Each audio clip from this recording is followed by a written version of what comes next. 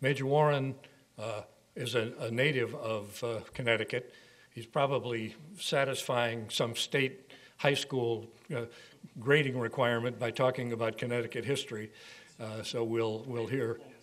yeah, there you go. Uh, he's a graduate of the U.S. Military Academy, 1999, so he's still at least a 20th century grad. Uh, uh, we have something in common there. Uh, he, he, got his, uh, he got his PhD at uh, Ohio State University, uh, a place that I've only learned to like because they beat Alabama. I have a congenital hatred of the South, and, and so the only way I can come to love Ohio State is for them to, to uh, be successful against somebody like Alabama. So, but that aside, uh, uh, he uh, was commissioned in the Military Police Corps, uh, has served in uh, Afghanistan, has served with both the 10th Mountain Division and the 3rd Infantry Division, and he currently is able to see my picture that's hanging on the wall over in Collins Hall on a daily basis if he chooses to. Uh, I'm an old alumnus of uh, the, uh, the Center for Strategic Leadership, and I think it's now called something else, and development. he works in concepts and doctrine. That's, a, that's a great field. That's what uh, TRADOC uh, uh, deals with. that's what Brooks Kleber was the historian for, for the Army. And, and so it's, it's a very appropriate to have him talk about that. I know many of you are here to find out some of the history of why the casinos have the names they do in Connecticut. Uh, so he'll be able to talk to you about uh, uh, some aspects of that. But mostly, he's going to talk about some, some policies and some principles and some concepts that are as applicable today as they have ever been.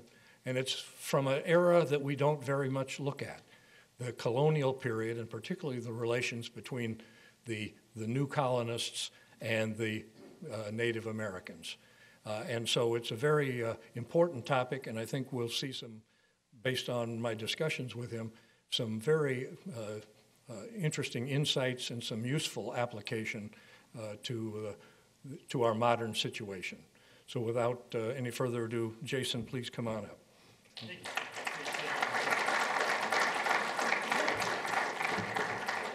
And no fears, sir. We're only going to talk about southern New England tonight, not the south. So I think uh, you'll feel comfortable. Uh, uh, many thanks to the Army Heritage and Education Center for the invitation to speak with all of you this evening and the kind, uh, I- kind introduction. No pressure at all tonight with my boss, Dr. Bonin, here, and others in my chain of command in attendance. Um, I would like to thank them for their support uh, it, it's also wise for me to thank them, perhaps, because I have an evaluation report upcoming. And Lieutenant Colonel would be a decent promotion, um, especially at the War College, where I, I might be the lowest ranking officer, at, and it certainly seems that way at times. Um, speaking of recognition, I'd like to discuss with you the inhabitants of Connecticut Colony, both native and English, who have largely been overlooked during a critical war that changed the course of New England indeed American history. By limiting the westward expansion of the burgeoning Anglo American sphere in 17th century North America, minimized also in the retelling of this crucial conflict were the native 17th century enemies of the Connecticut Indians. In doing so, an opportunity presents itself to explore the role of culture, broadly defined as a means of historical analysis. Over the next 40 minutes or so, let's attempt to understand better the unique point of view of parties overlooked in the traditional narrative of this war while examining the utility of macrocultural analysis and history. This will require the debunking of a number of incomplete narratives, including how the war started, how it was fought, and who ultimately won. And that's in quotes. And to attempt more controversy, I might even argue to alter Thanksgiving as we know it, although I do remain a die-hard NFL fan. So, the, the first thing I'd like to do is because probably not many people are familiar with colonial New, New England, um, I'd like to orient you to the map, as any good Army officer would as well.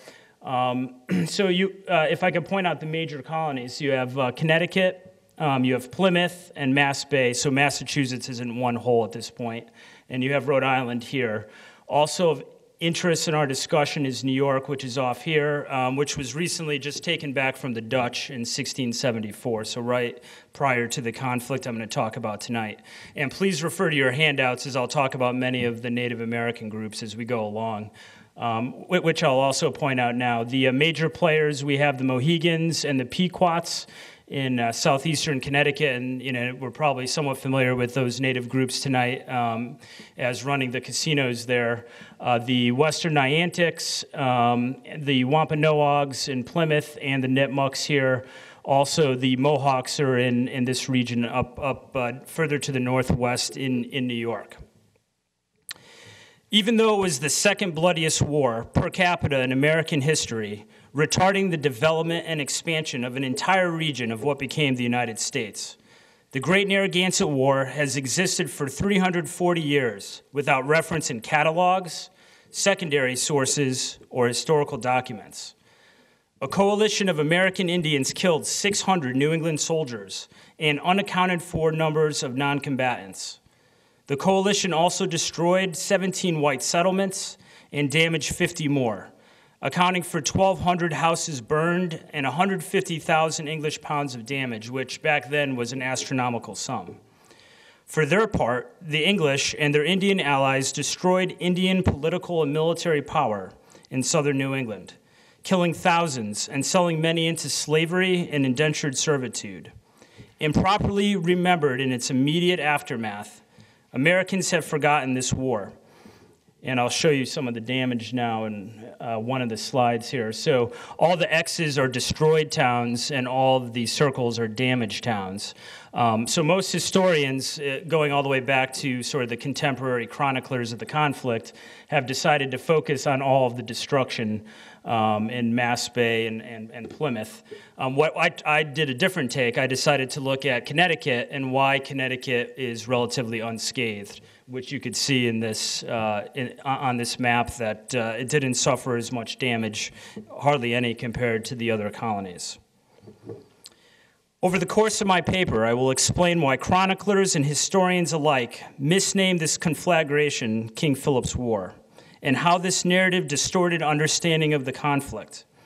The standard narrative of King Philip's War ignores the conflict's regional nature, downplays its leading actors, and minimizes the American Indian point of view, especially of the Pequots, the closely related Mohegans, and both native groups' enemies, the Narragansetts of nearby Rhode Island.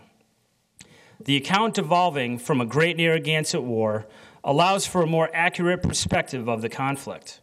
If we are to celebrate Thanksgiving, it should be for the giving of thanks to Connecticut, Connecticut's Indian allies, without whose support victory would have been nearly impossible for the English. The cultural aspect of this conflict is also salient in this forgotten story because of the close relations, in many cases, even family relations, between Indians themselves and colonists themselves.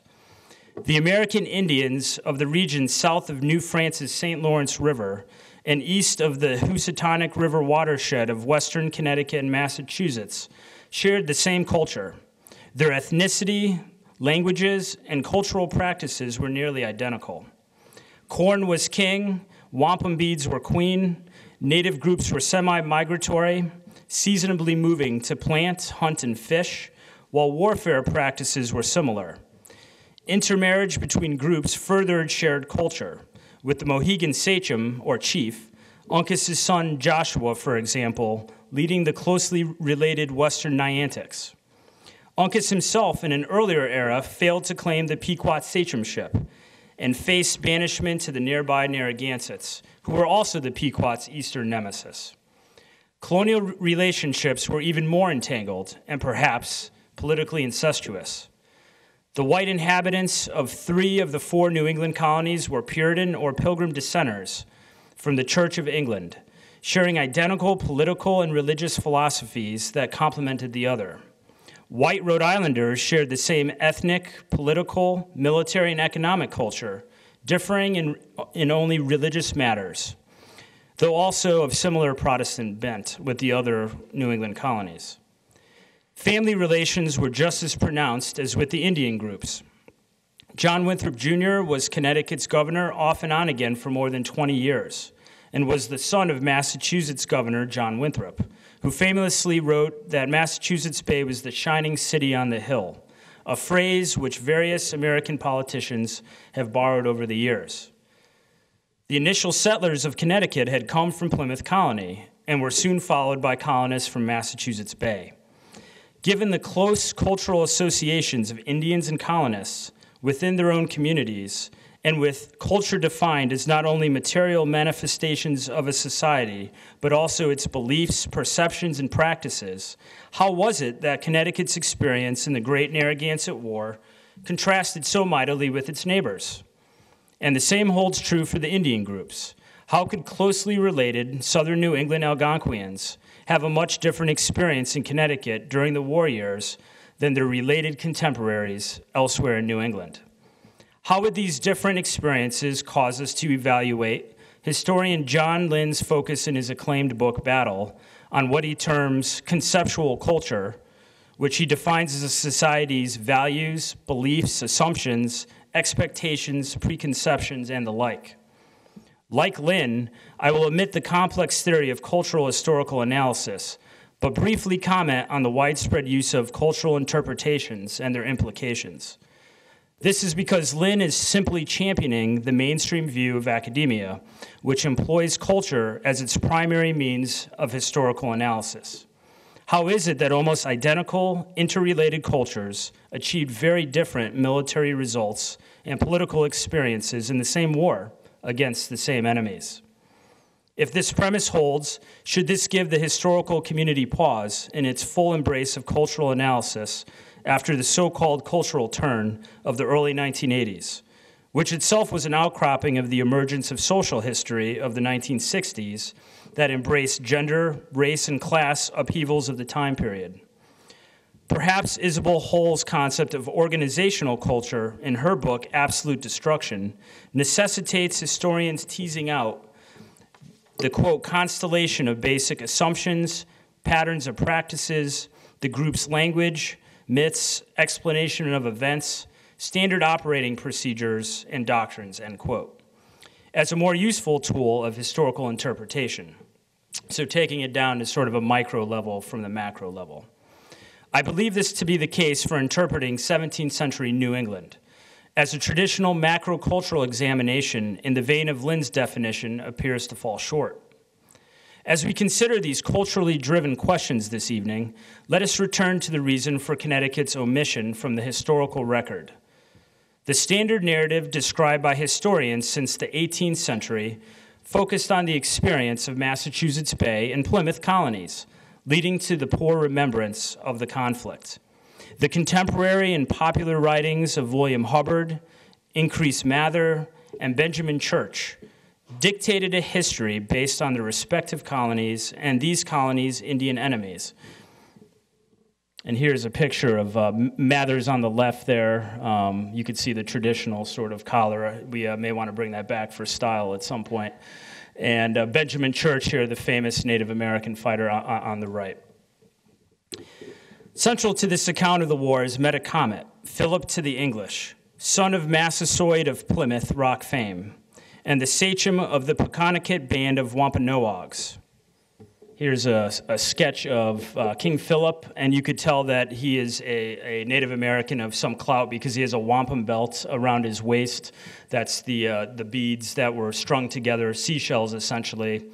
Um, and also the fact that he is carrying a musket. Um, not, not all the Native Americans at the time uh, had, had muskets as, as, well. So that's how you could determine that uh, he is a, a, uh, a Native American of some import. Benjamin's son, Thomas Church, exaggerated Philip's role in the war when he updated his father's diary in 1719, some 43 years after the conflict. Thomas may have been the first to coin King Philip's War, as his father's force was responsible for the sachem's death during a raid in 1676. While chroniclers focused on their home turf, none of them referred to the war as Philip's uh, during the time period of the war. Philip's warriors responded to provocations from Plymouth Colony and precipitated the conflict in late June of 1675. Plymouth had tried and executed three of Philip's warriors for allegedly killing one of their sachem's consuls, John Sassamon. Sassamon had told the English that Philip was conspiring against them. However, any similar instigation by the English or their Indian supporters might have sparked the war, as tensions between American Indians and whites had simmered for some time over issues of land and sovereignty. It is worth noting that although both the Wampanoag groups and Plymouth Colony were in a state of decline relative to other Indians and colonies respectively, these entities shared similar culture with those whose influence was expanding. Evidence suggests that Canonchet, a chief sachem of the closely related Narragansett people, actually would have led the uprising after most of the southern New England native groups had readied for combat, and here's a sketch of Canonchet's. Um, it's difficult to find uh, sketchings, paintings, portraits from the time period, so we're often less left with less than desirable uh, renderings after the fact. Philip was a subtle diplomat, even nearly succeeding in the winter of 1676 in bringing into the conflict native peoples from throughout northeastern North America. He ultimately failed, however, when the English allied Mohawks damaged his entreaties by raiding his diplomatic summit, where Philip sought to enlist these peoples, killing a handful of warriors during two raids. In fact, Iroquois or Iroquois involve, involvement, of which the Mohawks were the easternmost native group, did not win the war against the hostile coalition as many historians claim. The late winter and early spring offensive that was the deadliest phase of the war for the colonists indicate that the Mohawks only succeeded in damaging Philip's diplomatic bargaining. Thus, the role of the Iroquois was important but indecisive. The Iroquois were from a different cultural background than the southern New England Algonquians and Delaware Algonquians of western Connecticut and southern New York and perhaps there is room for a broader cultural analysis in this case than a more uh, targeted microcultural scrutiny that doesn't seem to work for New England. Philip also botched his combat leadership role in grand fashion.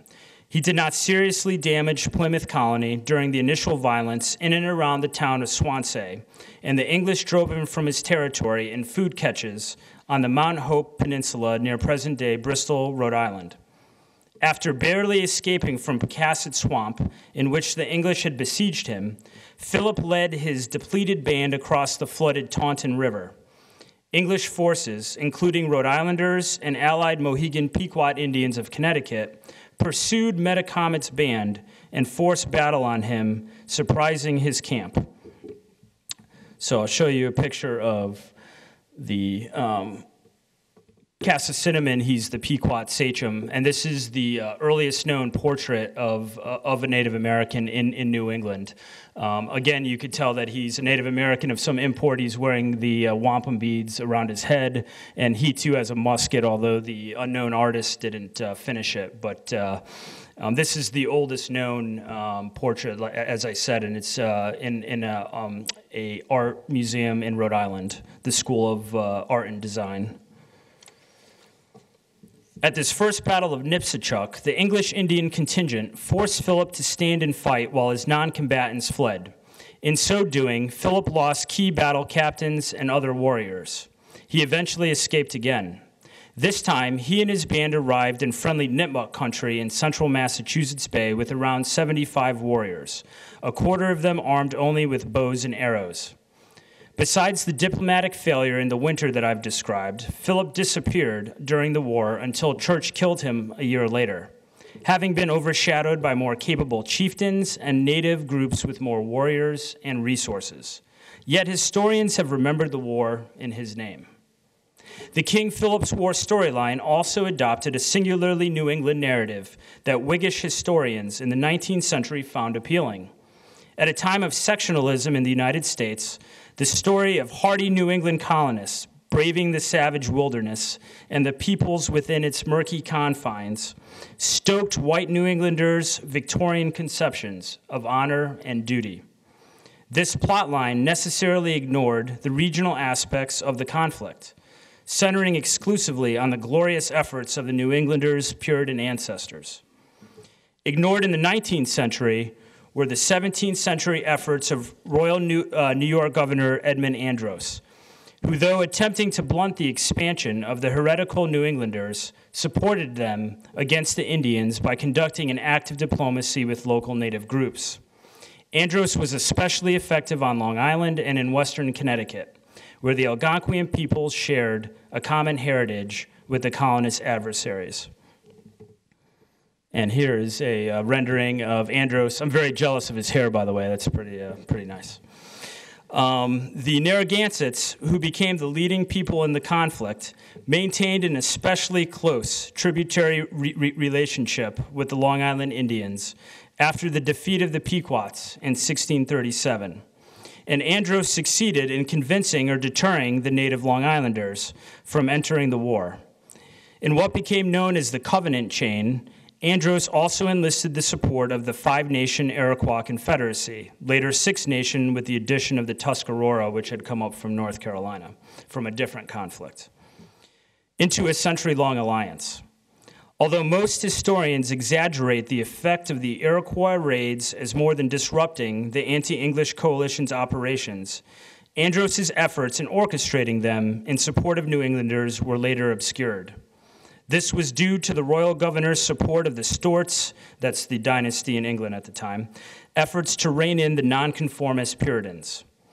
After the war, Andros became governor of a political entity known as the Dominion of New England, and he was later imprisoned in Massachusetts after William and Mary deposed Charles II's son, James II, during the so called Glorious Revolution. For this reason, New England contemporaries erased Andros's role in the war Whiggish historians carried that erasure forward, and many historians continue to underestimate Andros. The King Philip's War plotline did not only obscure the role of New Yorkers, more significantly, for a true telling of its events, chroniclers and historians alike downplayed the endeavors of Connecticut and Rhode Island, thereby magnifying those of Massachusetts Bay and Plymouth. Both of the former colonies lacked a chronicler of stature, and their critical activities, in Connecticut's case decisive, have been minimized for more than three centuries.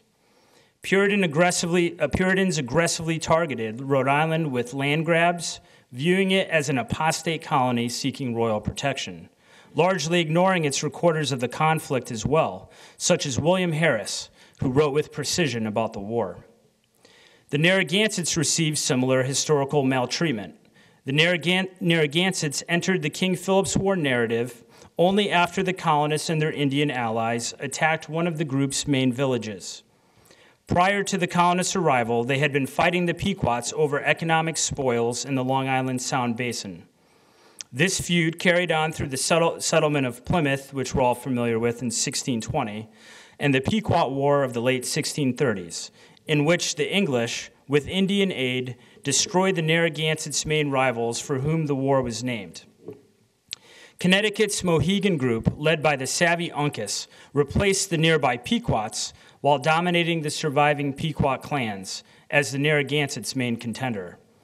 Both groups carried on intermittent warfare for the next 40 years until settling old scores once and for all in 1676.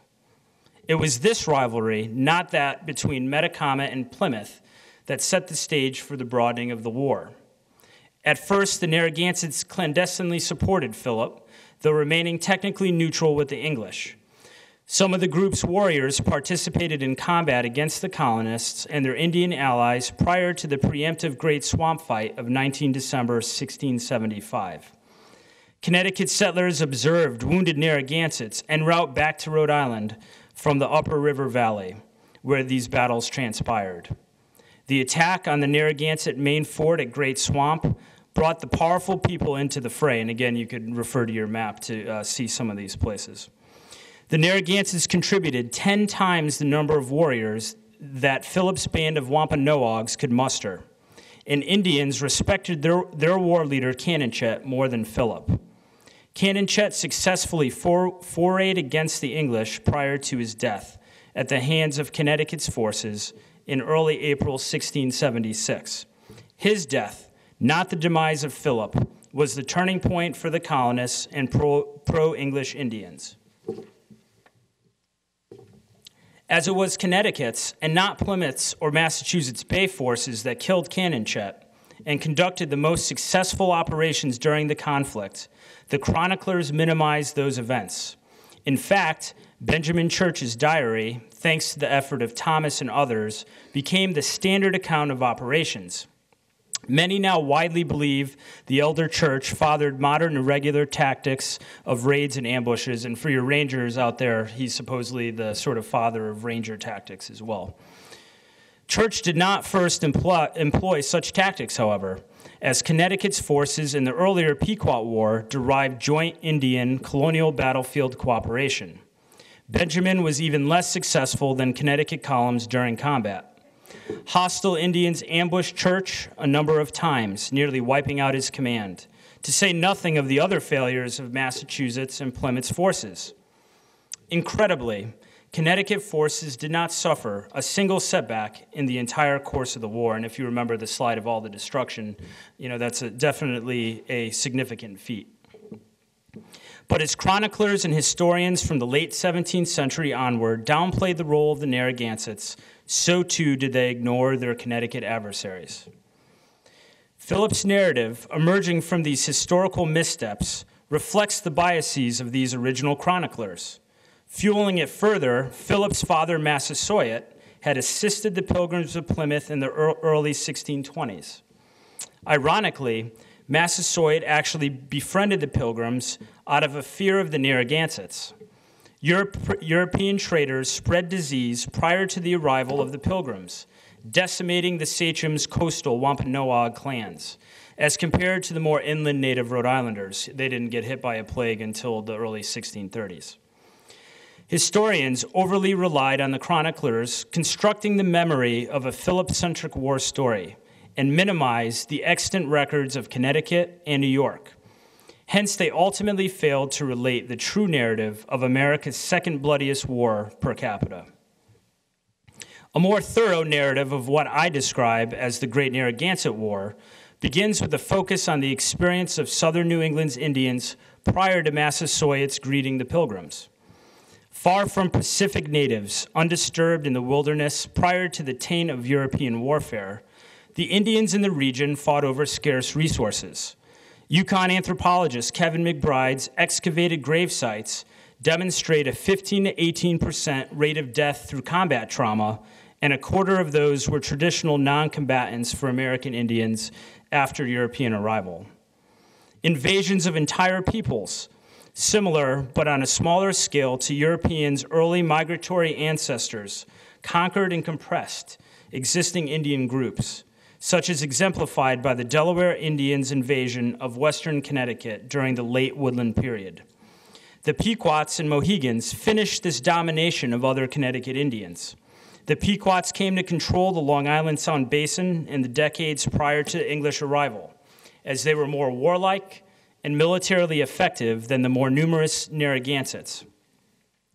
Warfare against the Mohawks likely steeled Pequot tactical skills, as both groups acted to dominate the area of western Connecticut previously conquered by the Delaware peoples.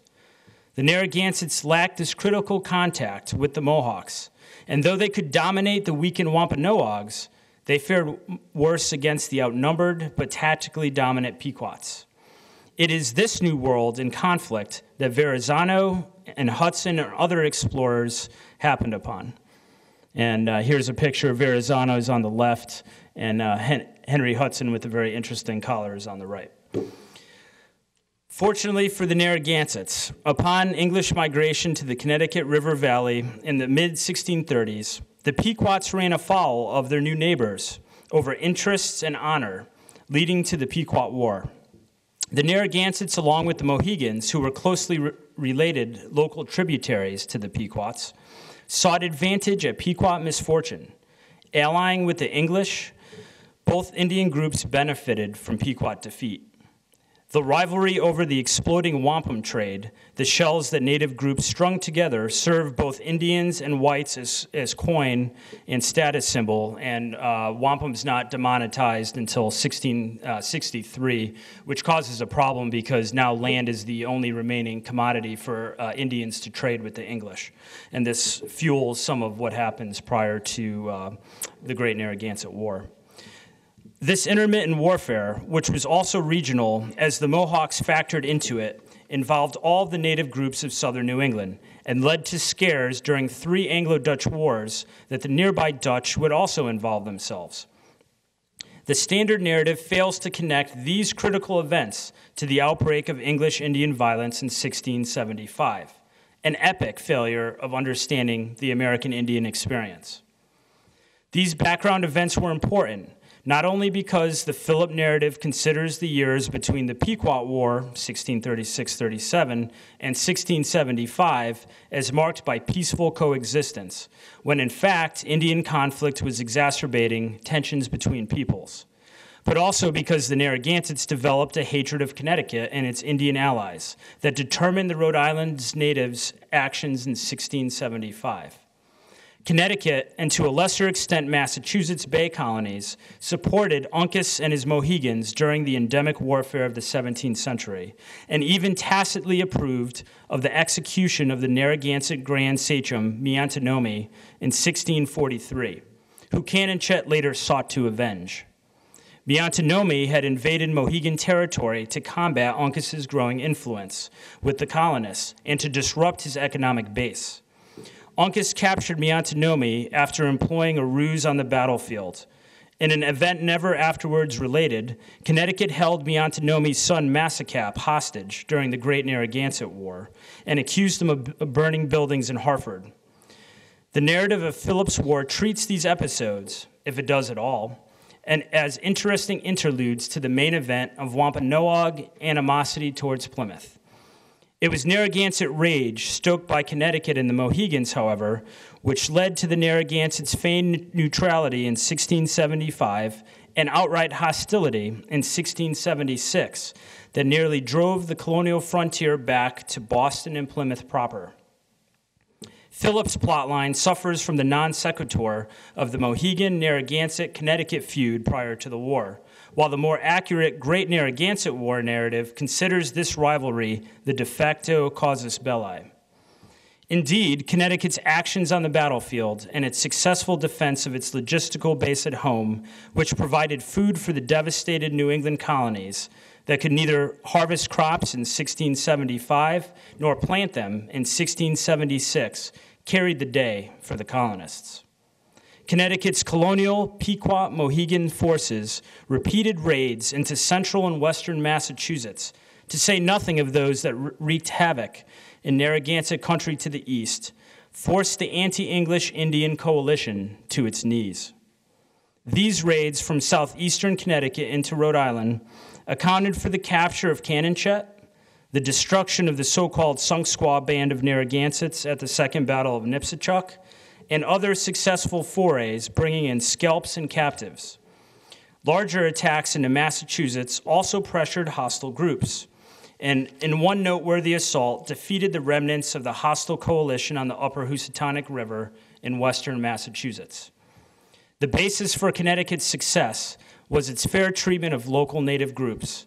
This treatment built on the lessons learned from the earlier Pequot War, neutralized Connecticut's potential adversaries, and in most cases, won them over as allies to fight the anti English coalition. The Connecticut towns of Wethersfield, Middletown, Hartford, and Norwich even invited neighboring Indians into their confines for the security and sustenance of the biracial local community. This was a very foresighted policy, given Americans' sometimes unethical treatment of ethnic groups, such as the infamous Japanese internment camps of World War II. Even given the above mentioned cultural similarities to Connecticut, Plymouth and Massachusetts Bay colonies acted in opposite fashion, where misguided policies of oppression even targeted the converted praying Indians, forcibly removing them to reservations on windswept islands in Plymouth and Massachusetts Bay harbors. Unethical treatment led to, the, to the, most of these co- colonies' Indian groups joining the Indian coalition and providing it with critical intelligence to target colonial settlements. This led to the tally of destruction, which I pointed out on the previous map, in New England besides Connecticut.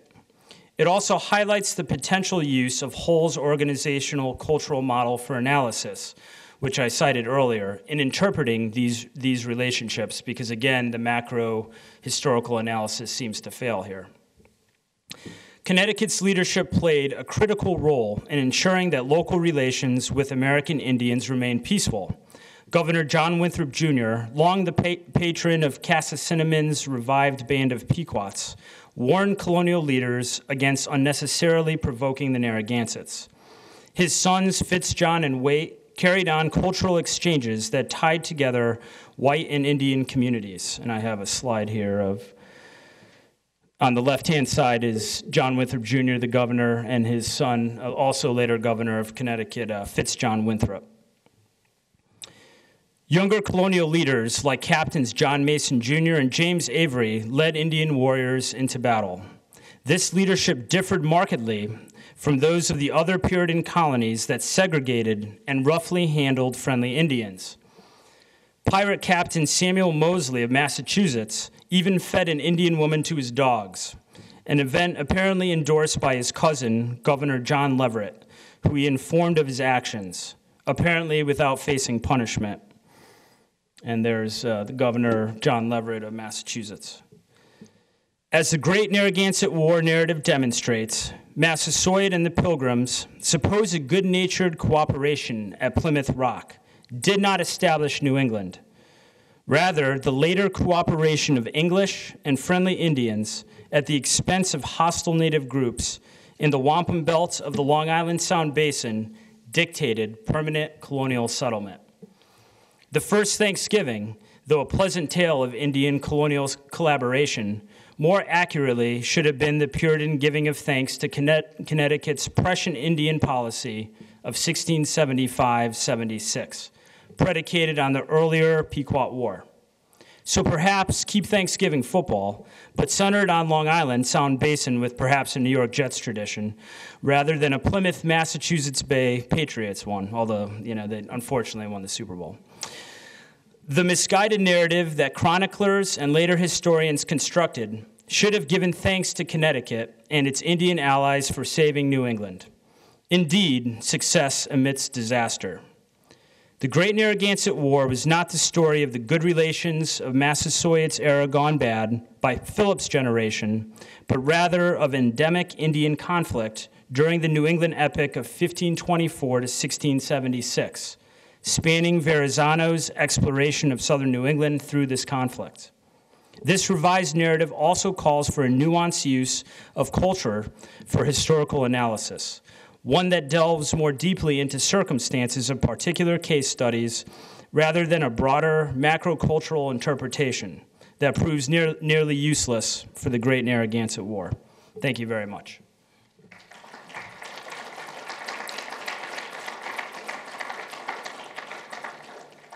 And I, I guess we have a little bit more time for questions, so.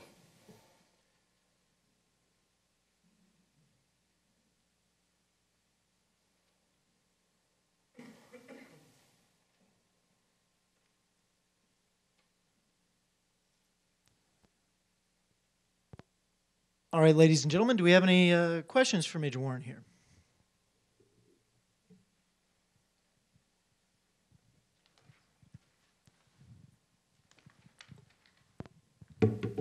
Mentioned earlier about the uh, spread of disease killing off the Indians. Mm-hmm. How large were these bands of Indians by 1660s that they could continue this war and still manage to build up tribes with, let's say, 50 to 100 uh, Braves?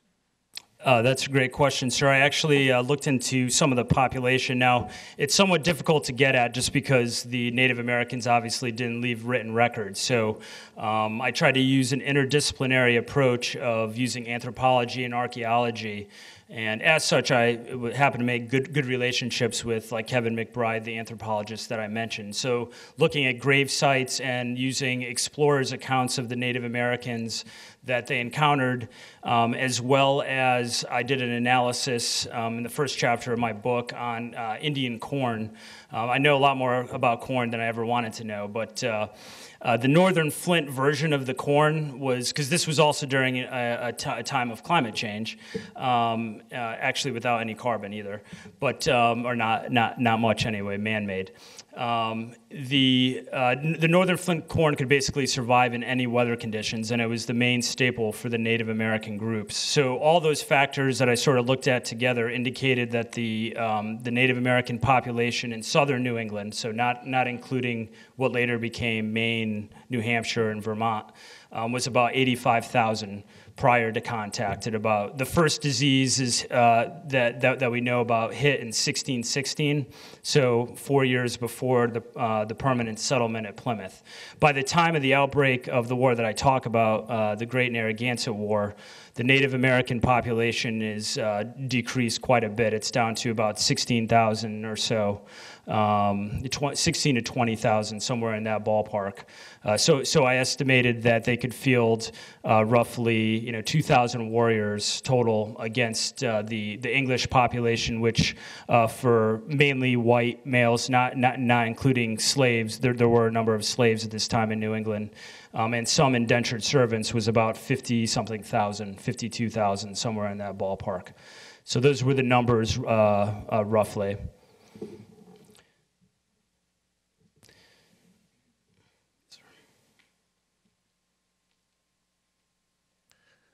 Is, is there a, an explanation for uh, John Winthrop Jr. and the Connecticut leadership to take such a different approach from their culturally similar uh, uh, uh, people in, in Massachusetts Bay and, and Plymouth? Yes, sir. Uh, um, I actually looked, uh, there's been a number of scholars that have done books on uh, John Winthrop Jr. himself.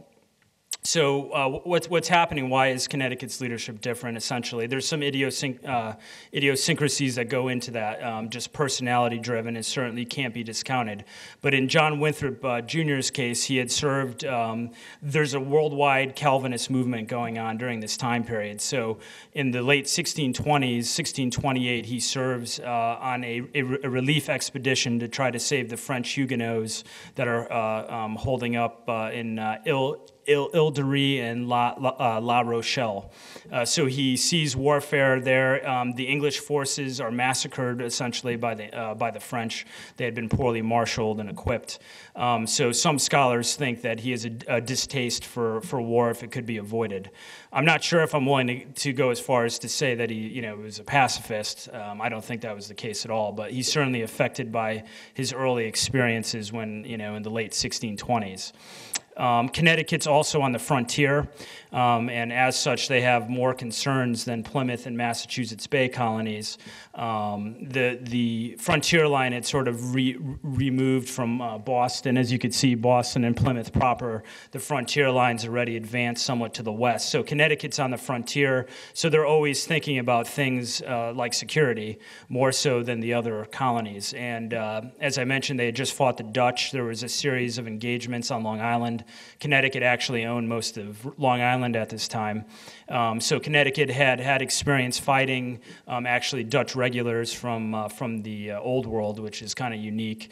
Um, the, the, the, records are a little bit scarce on, on what exactly happened, but there were at least three battles. So Connecticut is going about these military processes, which gives them an advantage. And one of the things they learn um, from those engagements in the earlier Pequot War, which transpires on Connecticut territory, where it's only an ancillary war for Massachusetts Bay and Plymouth, is that local re- relationships matter quite a bit. And I think, you know, in our own experience in Iraq and Afghanistan, one of the things that, you know, we always try to do is get locals on our side. So that's the same kind of uh, dynamic that's happening here in Connecticut. In one episode, one of the um, sachems of the Middle Connecticut Indian uh, native groups uh, calls on the Pequots. Uh, the Pequots were their patrons, so they had to act in order to keep their reputation as a uh, as a strong group, um, sort of going. So the Pequots attacked the English settlements in the mid uh, mid Connecticut River Valley in this earlier Pequot War. And what the English uh, actually learned from that episode is that. Um, good, good relationships would have prevented that sort of attack. Um, the sachem's name was Sequasin, and they actually apologized to Sequasin after the Pequot War. Um, so it's a combination of leadership idiosync- uh, idiosyncrasies, um, leadership experience um, from Connecticut's leaders, both in the old world and the new world, and the fact that Connecticut had experienced this earlier Pequot War, learning the value of local re- relations where the other colonies didn't. So, did I, did I answer your question?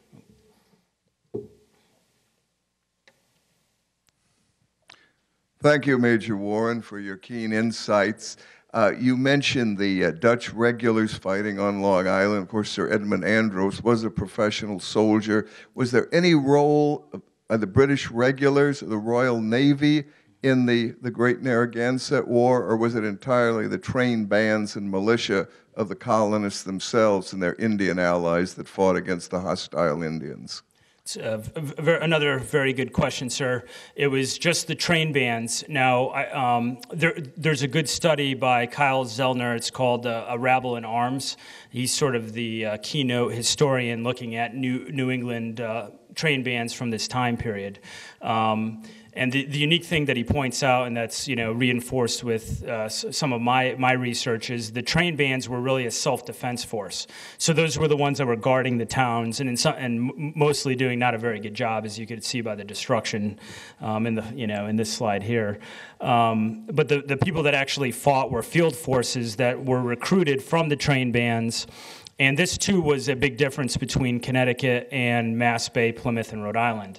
So, where Mass Bay, Plymouth, and Rhode Island sent their often undesirables, as Kyle Zelner points out, um, Connecticut had more of a uh, equitable share of the upper class at the time, the sort of landed uh, aristocracy is sending their kids out to fight more than in the other colonies. So there's more of a communal effort, and again, I attribute this to Connecticut being on the frontier. Um, for instance, at the at the big the biggest um, battle in the war, Great Swamp Fight, Connecticut loses four of its captains, and all of them are from leading families in Connecticut. So this is a, a homegrown war without English, um, any sort of English regular troops coming over. Um, part of the part of the reason too is, I mean, it goes relatively quickly. It's about a year. So by the time they would even get the word back to England, muster, send troops over, the war would have probably been over anyway. But uh, there there wasn't much of an attempt, and there's a there's bad blood between the New England Puritans and the Stuart Crown anyway. So perhaps they, you know, the Stuarts wouldn't have been as willing to send uh, troops. Um, there, there's also a parallel story that's going on during this time uh, called Bacon's Rebellion, which is going on in Virginia. Um, and in that case, it's actually a civil war between the English with bloodshed. It came close in New England with Andros and Connecticut, but it didn't come to blows. It actually did in, in, in Virginia, which is an interesting parallel. Um, so Bacon's, uh, Bacon's leading a group of you know so-called rebels against the landed aristocracy of Governor Berkeley of Virginia. Berkeley re- requests royal forces from England in, in, in, a way that New, New England didn't. And uh, the English forces were actually on their way. There was a naval armada as well as ground troops, but uh, they, they arrive after the, the rebellion's put down. Uh, Bacon dies of dysentery and uh, so, so the, the whole thing folds. So, so there is some precedent for outside help. Um, the uh, Dutch regulars show up because it's uh, a longer war.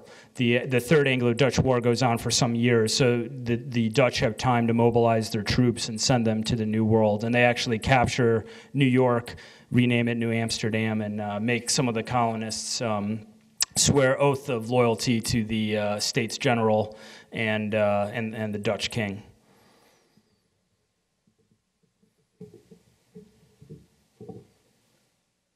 What do you think the role of the intertribal rivalry played? You know, because they were they did not band together. It sounded like they were fa- uh, different factions. Right. Uh, yes, sir. That's uh, probably uh, something that, that led to um, the ultimate destruction of what I call the anti-Indian coalition. In the end, Philip and Canonchet and the other anti-English leaders uh, failed to bring together all the Indians of of New England. Had they, I think the war would have had a much different result. Um, had they brought in the Mohawks and some of the other um, bands, uh, Iroquois and Algonquian bands from uh, New France, um, also that could have uh, devastated the, the, New England colonies. in that scenario, I think they probably would have pushed the frontier line all the way back to uh, Plymouth and Boston proper, and maybe some of the other um, key towns. But but in the end, the, the Native Americans lacked artillery, so there would be they'd have no way to actually besiege the final sort of strongholds of the English. But I think they would have been more successful had they done that. Why why they couldn't is because what I tried to explain was they had their own rivalries that predated English arrival, predated other colonial, um, you know, people coming to to the New World. So those rivalries uh, uh, meant more to them in terms of policy than banding together to fight the English. They so. Um, often historians sort of take a, a, a white English centric view of the history, and um, you know it sort of leads to these sort of uh, explanations where you know it's always English against Indian, but in, in, in reality the Indians were using the English for their own purposes and their own wars, conducting their own policy. Um, it's even a little bit more, more murky than that. I, I, don't want to go off on a too much a tangent, but at, so, at some times the native tribes also uh, claimed sovereignty if it suited them. So I mean this idea of like you know people that are sort of helpless Pacific natives that you know face this uh, um, overwhelming European onslaught just doesn't live up to the facts. Um, and often the native groups appealed directly to the king and said, "Hey, we we too are your subjects. Help us out here in these land." Um, land problems with your English colonists. So there, there, there was a lot of double games going on here. Um, uh, a very good book, if you're interested on that, is Jenny Pulsipher's uh, book on sovereignty in, in, in New England, where she talks quite a, bit, a bit about that.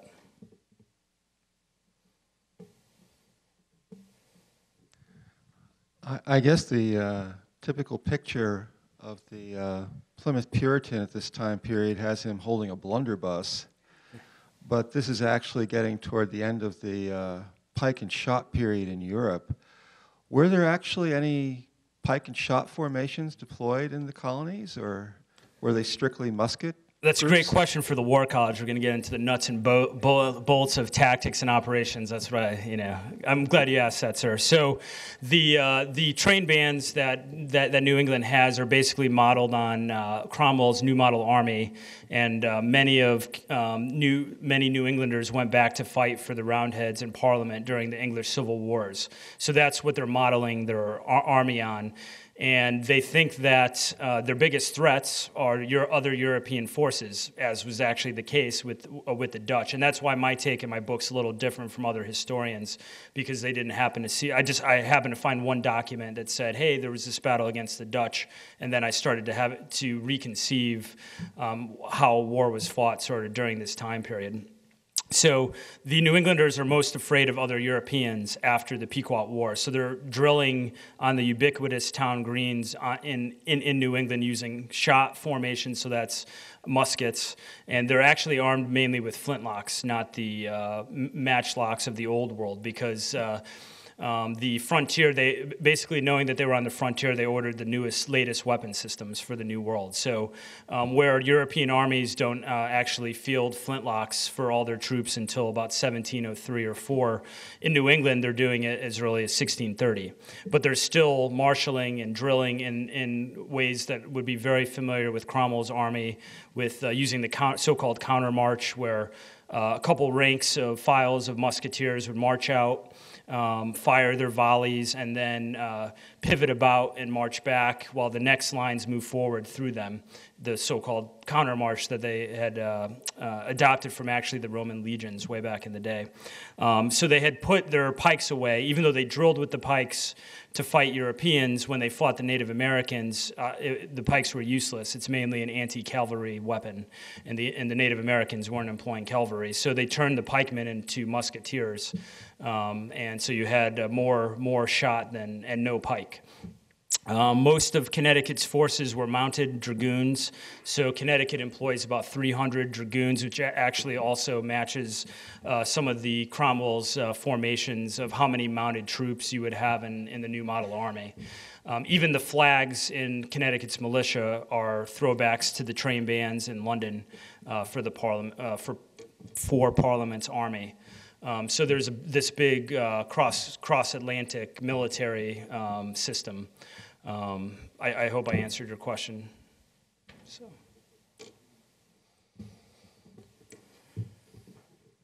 Any of the sites of conflict preserved or commemorated today?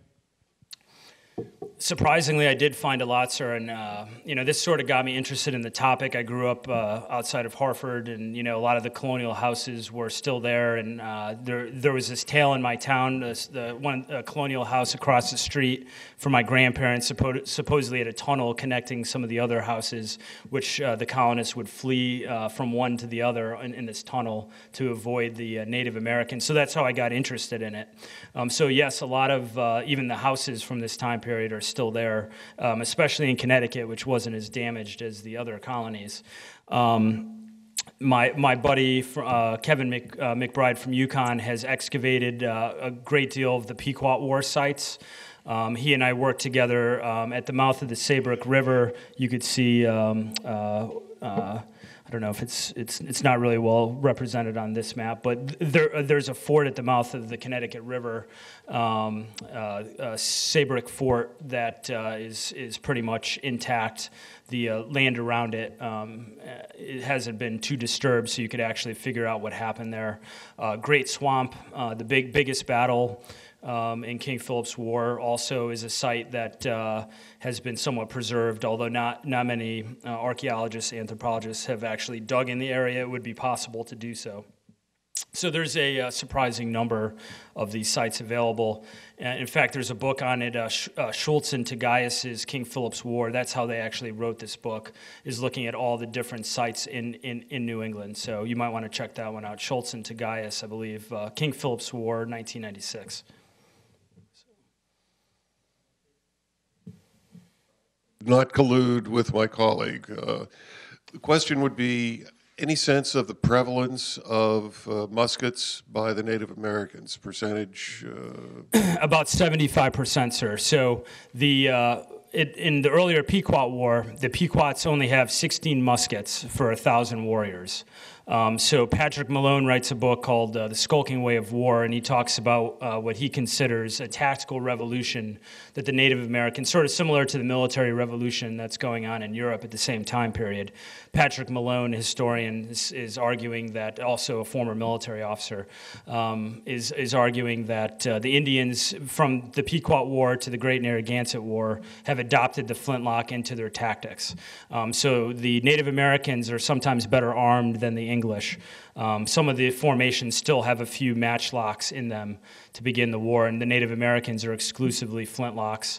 Uh, the Native Americans could make their own shot, repair their own weapons, um, and make their own, fashion their own flints. Um, and that's something that's good uh, about um, interdisciplinary um, studies. Is I would have never known that as a historian, and um, but my anthropologist buddies sort of dug these flints up and said, "Hey, the Native Americans are constructing these." Um, and the English, when they raid the Native American villages, the first thing that they usually destroy is the Native Americans' blacksmith forge, where they're fixing and fashioning and, and, and so on the uh, weapons. So um, about a quarter still are armed with uh, bows and arrows, um, which could be effective as well, um, but you know perhaps not as much so as the flintlock. The, the Native Americans don't adopt any any matchlocks really because um, they're very cumbersome and they're you obviously have a lit uh, match, and that doesn't you know work with Native American tactics usually, which are you know more ambushes, raids, and skirmishes. Although there are instances, as I argue in my book, where the Native Americans massed to fight. So um, it's, it's, it's a misnomer that the Native Americans never would stand in the field. They, they would when they sensed an advantage, like any good tactical force would today.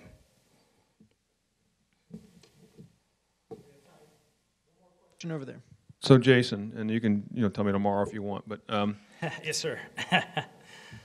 since since your work challenges sort of the preconceived notions and previously published histories. How well is your your work being received? And said another way, are you a heretic or a newly br- uh, branded sage?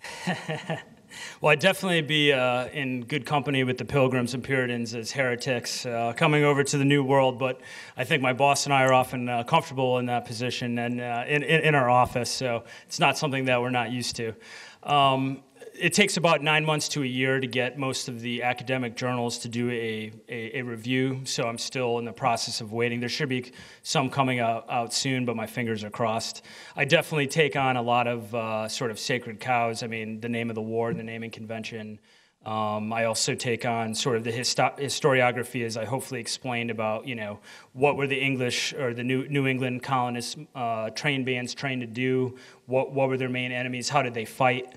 Uh, the standard explanation is they adopted the so-called skulking way of war to fight like Native Americans, which I, I don't think was the case for 99% of the co- colonial forces.